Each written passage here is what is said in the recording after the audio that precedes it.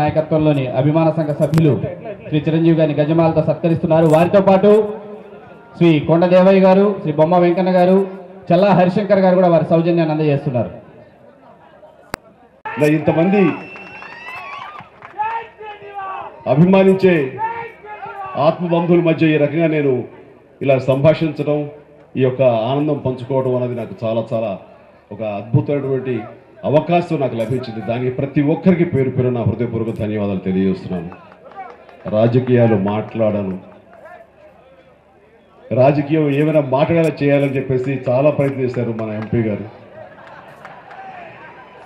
ఇది రాజకీయాలకు అతీతంగా జరుగుతున్న సభగా నేను భావించి ఆ వైపు కానీ ఆ కోణం నుంచి నేను మాట్లాడదలుచుకోలేదు. ఈ రోజు నేను కేంద్ర మంత్రిగా వచ్చానంటే అన్ని ప్రాంతాలు నాకు అన్ని రాష్ట్రాలు నాకు కావాలి.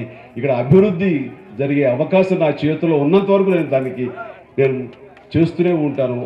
చాలా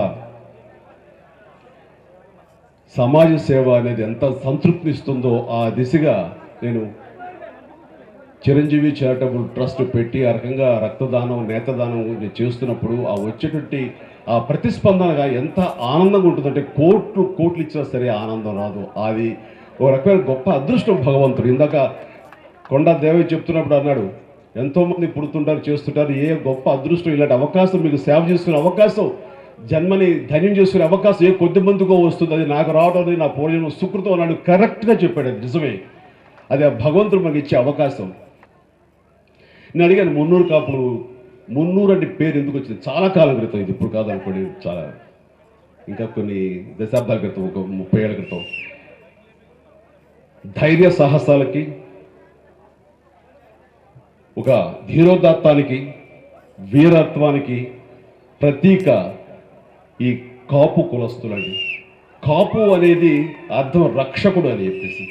ఆనాడు నవాబులు వాళ్ళని రక్షించుకోవడానికి వాళ్ళకి అన్ని రకాలుగా పరిరక్షణగా ఉండటానికి అప్పట్లో తాంజూర్ మహారాజుల్ని అడిగితే మూడు వందల మందిని పంపించారు మున్నూరుని కాపులు పంపించారు. ఈ రోజున ఆ యొక్క ధీరోదత్తమైనటువంటి ఆ వీరులు ఎవరైతే ఉన్నారో వారి పరంపర కొనసాగుతుంది. అందుకని మున్నూరు కాపులని ఆ రకంగా పేరు వచ్చింది అనుకున్నప్పుడు చాలా చాలా గర్వించాను. నిజంగా నా ఉద్దేశం కూడా అది.